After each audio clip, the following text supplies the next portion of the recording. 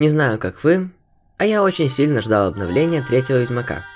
Думал, что сделаю по нему кучу видео, но именно тогда мой организм решил заболеть. И я с трудом выпустил только одно видео. Аудитория восприняла это обновление очень неоднозначно. Но вот уже прошло больше двух месяцев, выходили новые патчи, и я думаю сейчас можно полноценно оценить обновленный Ведьмак 3. В этом видео вы узнаете, как играется и стоит ли играть Ведьмак 3 Next версию в 2023 году. Усаживайтесь поудобнее, заваривайте чаек, а если вы еще на канал подпишетесь, то будете вообще молодцы. Ну а мы начинаем. Погнали. Начну я, пожалуй, с перечисления того, что вошло в Next версию. Сразу уточню, что играю я на ПК, поэтому расскажу только про те фишки, которые были добавлены на компьютеры. Первое – это трассировка лучей. Честно говоря, у меня на компе этот шедевр включить нельзя. Также на экране вы можете видеть характеристики моего ПК. Но если кто-то тестил трассировку лучей, напишите в комментариях, будет очень интересно почитать. Далее идут моды, которые сделали обычные игроки, а проекты просто их вставили в свое обновление. Ладно, и так сойдет. По поводу улучшения для персонажей и окружения. Во время того, как я играл Ведьмака, я заметил только новую траву велени, увеличенное количество цветов на скеллиге и дым из труб сельских домов. А, точно, еще добавили точку быстрого перемещения возле дома барона. Неплохо, да?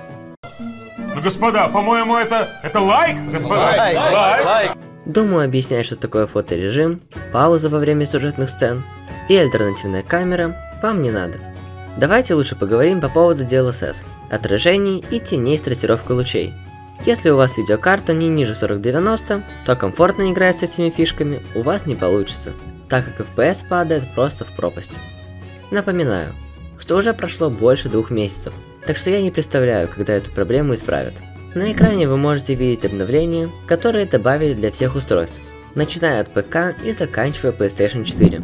Сюда вошли доспехи, новый квест и, конечно, ухудшение FPS. Куда без этого. Про минусы мы поговорим чуть позже, а пока, если вы досмотрели до этого момента, поставьте лайк и подпишитесь на канал. Мне будет очень приятно. Спасибо.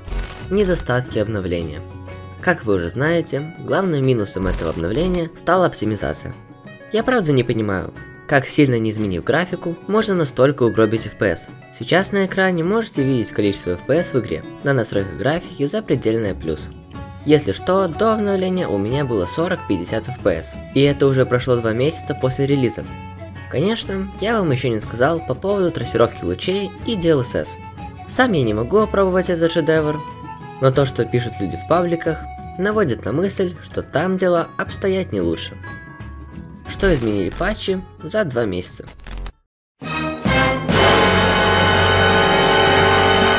На самом деле, это была горькая правда, что сделали разработчики за эти два с небольшим месяца. Но если быть полностью субъективным, то с этим обновлением пришли и хорошие вещи, такие как вот эти арты, ну правда же красивые. Если серьезно, то нам совершенно бесплатно добавили классный часовой квест. Необычные доспехи, мелкие, но красивые графические изменения. Наверное, на такой грустной веселой ноте надо подводить итог. Как играется Ведьмак 3 Next Gen версия в 2023 году. Судя по всем тестам, можно сильно не заморачиваться с DLSS, трассировкой лучей и тому подобного. Спокойно ставьте DirectX 11 и наслаждайтесь, если это можно так сказать, обновленным Ведьмаком. На самом деле, иметь такие проблемы с оптимизацией после обновления – это ужас. Конечно, не все так плохо, как с трилогией GTA, но и не идеально. Если вы хотите спокойно поиграть в третьего Ведьмака сейчас, то устанавливайте версию до обновления и закидывайте моды. Поверьте, сильных изменений вы не заметите. Но FPS точно станет выше. Надеюсь, видео было полезным, и вы оцените его своим лайком и подпиской. Спасибо за просмотр и до скорого, ребята!